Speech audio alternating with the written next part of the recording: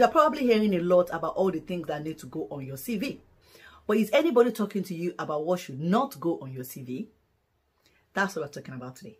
All the things that should not go on your CV. Hello everyone. Welcome back to my channel, The Bulletproof Life. My name is Ronke Odewumi and I'm delighted to have you here. If you are new to my channel, on here I share tips, information and hacks to help you live a bulletproof life. So I cover topics on personal finance, business, career, and lifestyle. So if you haven't subscribed, please click the red button on your right to subscribe to my channel. Don't forget to click the bell button so you can get notifications every time I share a new video. So what are we talking about today? We're going to be discussing our careers in the last few months, a lot of companies have had redundancies. People have lost their jobs. Even those who haven't lost their jobs, we're still feeling a little bit threatened. At the same time, the job market is opening up. Companies are starting to hire. They're starting to understand where they're going or how they're planning to take their company forward. So they are looking to recruit. Yes, job market is opening up. So we're dusting our CVs, getting ready to change jobs, you know, or go back into new jobs now that we've been made redundant. And you're probably hearing a lot about all the things that need to go on your CV. How you need to show your work experience, your education, your skills, and so on. But is anybody talking to you about what should not go on your CV? That's what we're talking about today. All the things that should not go on your CV. If you have been putting them on your CV in the past, it's time to press delete on all of these things and I'm going to be sharing quite a few. Stay with me. The first thing you need to take off your CV if you have been putting it on is your photograph. If you are not applying for a modeling job or an acting job, the HR person, the recruiter does not need to see your picture. So take your photograph off your CV. They don't need to see how cute you are or how pretty you are or whatever. Take your photograph off your CV. The second thing to take off your CV are vacation jobs part-time jobs or Saturday jobs. So all the jobs you did, flipping burgers, driving Uber, you know, side jobs, side hustles that you've done to fill the gaps don't need to go into your CV.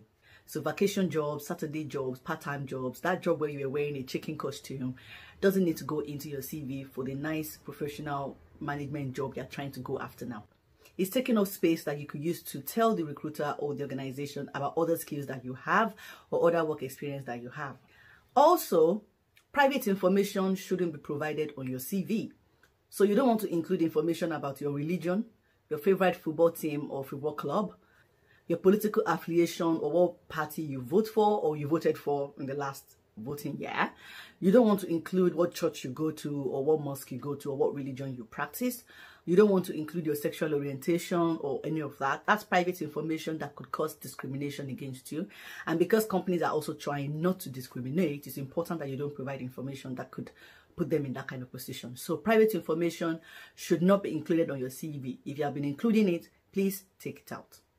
In old CVs, we normally include reference details. I remember my first job, I included the exact name and addresses of my referees so that the company could get in touch with them. And then after a few years, we stopped including details and started writing references available on request. But now, you don't even need to write that. Your recruiter, the organization, they know your reference is available on request. That's how it works. If they ask you for a reference, you're supposed to provide it.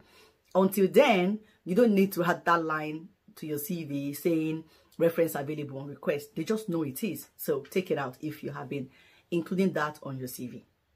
Also want to take out from your CV is your salary information or what you earned in the past or what you hope to earn in this job.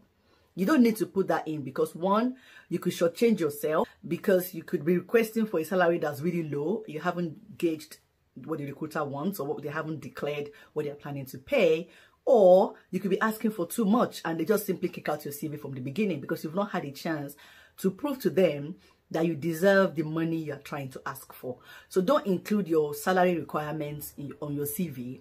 It's not something to talk about until you've gone for your interviews. Bad grammar and big words are two no-nos from your CV. You need to read your CV again and again, read it out loud, give it to somebody to review if you are not sure. It's very important that you don't have spelling mistakes and bad grammar on your CV. It gets you kicked out of the process very early. Also, don't use big words. If there's a shorter word you can use for anything, please use it. Abbreviations are another no-no. Don't abbreviate if you can't provide the full meaning of that abbreviation. So saying things like, I executed APG for the BTY team on the AJZ process so that we could deliver the QYZ, you know, deliverable. You, you get what I'm saying? So bad grammar, big words, and abbreviations. Take them out of your CV. They are not necessary. Unprofessional email addresses. You should have a professional email address for job hunting. And Gmail is an easy one to register. You could do that in literally 15 minutes or 10 minutes on your laptop or even on your phone. So the email on your CV shouldn't be dirtybombastic at gmail.com and it shouldn't be dirty bukola at gmail.com. It shouldn't be dirty drinking joe at hotmail.com. It shouldn't be that kind of email. Your email needs to be professional. So your first name dot your last name at gmail.com is a good one, or simply just your first name at gmail.com if it's if you're lucky and it's not been taken. So a professional email on your CV is important. A non-professional email should not be on your CV. So if you have been dirty bombastic at gmail.com or you have been sexy, sexy, dirty siren at hotmail.com, you know it's time for you to open another email address so you can have something professional on your CV. You shouldn't provide your tax details or your bank details on your CV. So your NI number, that's your national insurance number for those in the UK, or your social security number for those in the US, or even your bank details should not appear on your CV. This can lead to your information being stolen because um, the HR person that's going to look at your CV is not necessarily going to be careful with it. They'll print it out in an open office or at home. They would um, share it with other people. It might be in a joint email address where all the emails flooded. You just don't want to provide that kind of information on your CV. It's not necessary. They don't need it to um, assess you. So why are you providing it? So if you've been putting that on your CV so far, that's one for you to take out. No social security number, no NI number, and no bank details on your CV. And finally, I know you are artistic and you are really creative and able to show the skills, but your CV is not a place where you show your creativity.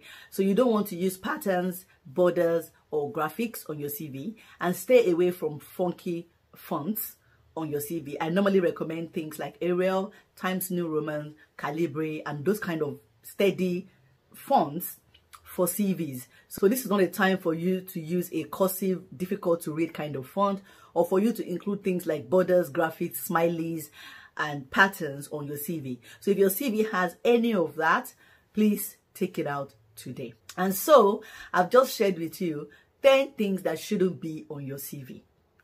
I hope you've enjoyed this video. I hope I've added value to you. I hope you're going to get cracking and improve your CV so you can start job hunting. It's Monday. It's just the right time for you to get on top of it and have a CV ready to share with recruiters during the rest of this week. I'm looking forward to hearing your good news. I'm looking forward to hearing about your interviews and how you are nailing it and how you've gotten your dream job. Until my next video, you take care of yourself and keep living that bulletproof life. Bye.